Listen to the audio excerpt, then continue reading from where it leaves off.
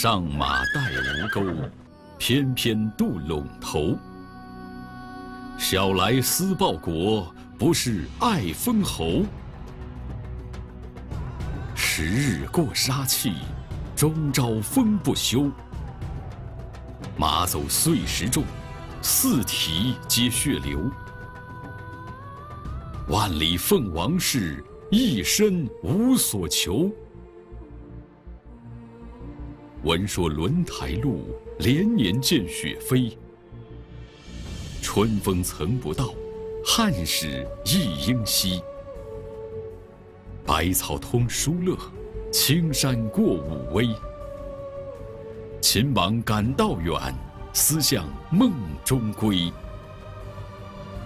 这些豪迈超绝的诗句，出自唐朝著名边塞诗人岑参。一生中两度出塞到西域从军的经历，在他的诗句中，打上了深深的边塞印记。交河郡长行坊之著马料文卷，一九七三年出土于阿斯塔纳第五零六号墓，所在内容大部分是唐天宝十三至十四年，西周和亭州驿馆上报的马料收支账。在这份长达一百八十多页的文书中，有郡房贴马六匹，迎岑判官，八月念四日。时卖四斗五升，付马子章十五。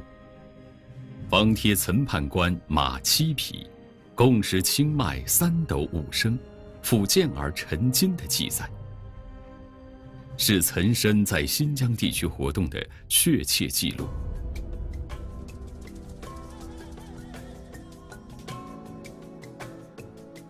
边塞诗起源于魏晋南北朝。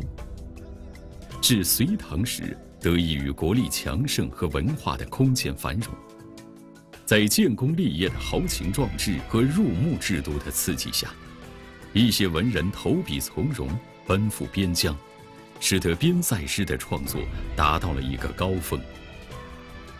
据《沧浪诗话》记载，唐人好诗多是征戍、迁折、行旅、离别之作。往往能感动激发人意。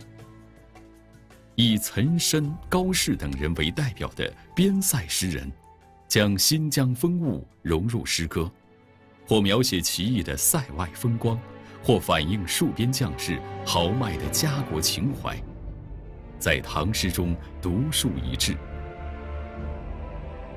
楼兰、大漠、烽火、狼烟、葡萄、羌笛。胡雁、马等构成了边塞诗中最常见的意象和符号。北风卷地，百草折；胡天八月即飞雪，忽如一夜春风来，千树万树梨花开。在《白雪歌送武判官归京》中，岑参以细腻的笔触。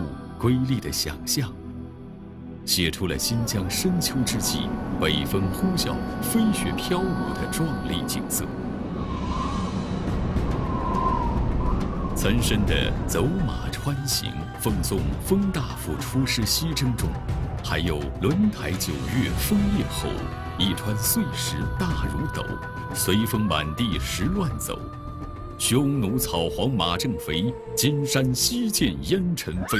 汉家大将西出师，这样的诗句。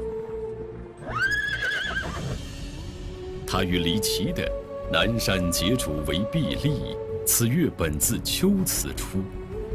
流传汉地曲转奇，凉州胡人为我吹。”李琦的“白日登山望烽火。”黄昏饮马傍交河等，充分展示了新疆地区的地理人文风貌。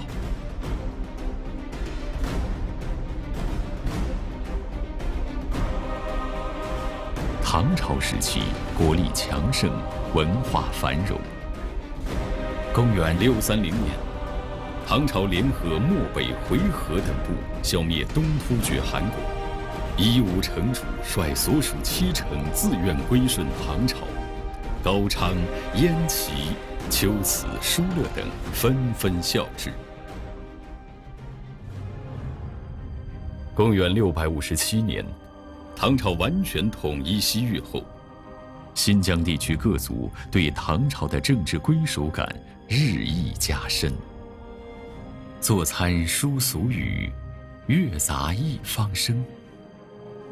在奉陪封大夫宴中，岑参用简练之语描绘了在一场宴席上，各族人员操着不同语言演奏各族音乐的场景。花门将军善胡歌，夜河藩王能汉语，形象地反映了当时新疆地区汉语的学习和使用日渐普遍的现象。